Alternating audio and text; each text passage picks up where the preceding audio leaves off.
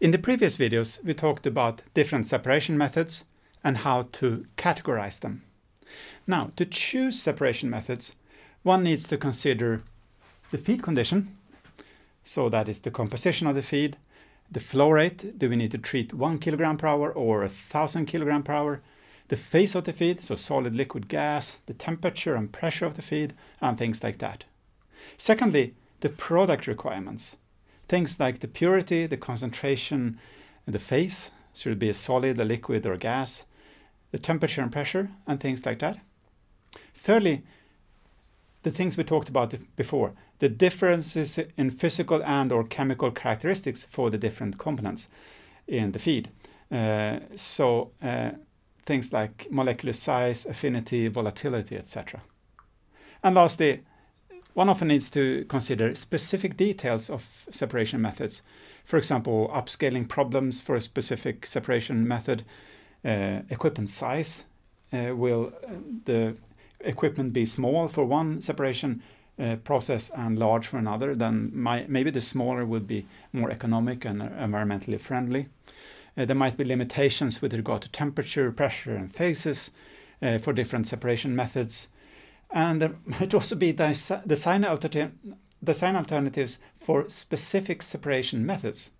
So, uh, for example, evaporation, there are not, not just one kind of separation equipment, there are many different.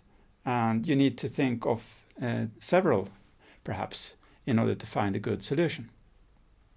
Often, when solving a real-life separation problem, it's not enough to use just one separation method. Rather, a whole range of separation methods are needed.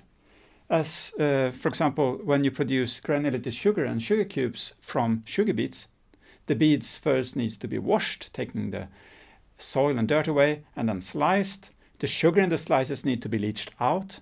The slices filtrated away so that sugar solution can be evaporated, and then the concentrated solution from the evaporation can be turned into granulated sugar through crystallization, centrifugation, and drying. In this example, the most energy demanding steps are evaporation, crystallization, and drying. So thus special care is needed uh, when designing those steps so that the process as a whole will be economical and environmentally friendly. In this course, you have a compulsory task 1 uh, on choosing separation methods. And the main focus there is on the differences in physical and chemical characteristics. The aim is not to find the perfect solution to the problem or to find uh, the exact solution that they typically use in industry, uh, but rather to introduce you to the topic of separation process.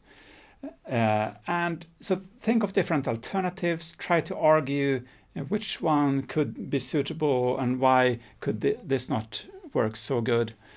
And for more info, read the instructions uh, for the task carefully.